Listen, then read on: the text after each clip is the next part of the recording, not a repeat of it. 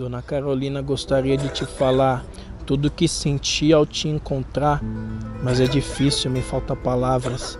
Talvez por isso eu decidi te escrever essa carta.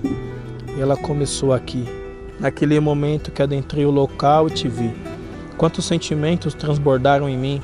A sua história é minha história. É tão forte viver isso. O seu povo é meu povo e esse foi seu compromisso. Me emociono toda vez que me conecto a você. É tão bom esses sentimentos que é gostoso de viver, mas nem tudo foram rosas quando me deparei com a sua história. Tantas foram as coincidências, tantas coisas iguais, as marcas que te formaram como mulher, negra, favelada. Quantas donas de casa, quantas Carolina a gente pode ver na quebrada que tiveram que crescer em meio ao sofrimento e o abandono. Mas o foda é que nenhuma dessas merdas te fez abandonar os seus sonhos. Foi mãe solteira criou seus filhos em um barraco e pelas suas mãos de trabalhadora o seu lar foi formado, dedicado às crianças como toda mãe preocupada. Mas a fome que as agredia não a permitia descansar. E lá ia Dona Carolina, papel na rua catar, na reciclagem tirava o seu sustento, mas não te ajudava a encontrar a saída desse sofrimento. Que mundo injusto, que mundo bom de acabar, onde o pobre trabalha a vida inteira, mas a vida digna parece que nunca vai chegar na nossa história tantas coisas parecidas.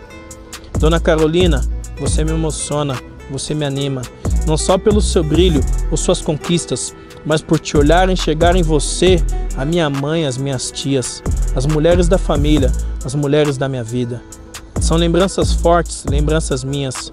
O lenço na cabeça minha avó sempre trazia e a infância passada no quintal de terra batida. Da casa quase sem mobília, a realidade da favela e o sofrimento que se vivia. Desde o seu tempo, só quem virava a cara que não via. Nada disso tem glamour, não serve para fazer inveja. A nossa existência é uma denúncia de que esse país é uma merda. Você foi foda porque trouxe a verdade. Relatou o nosso cotidiano sem pudor, sem maquiagem. Cronista radical, só contou o que vivia, o que via, e o que o seu povo passava e o que o seu povo sentia. Sua origem de classes trouxe sempre em sua escrita porque quem vive aqui tem que ter um lado é o da burguesia.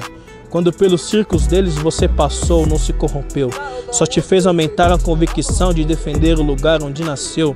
Esse lugar ainda existe e é da onde eu falo. Nosso povo ainda vive nos guetos entre vielas e barracos, mas também onde mora a esperança desse mundo ainda ter jeito.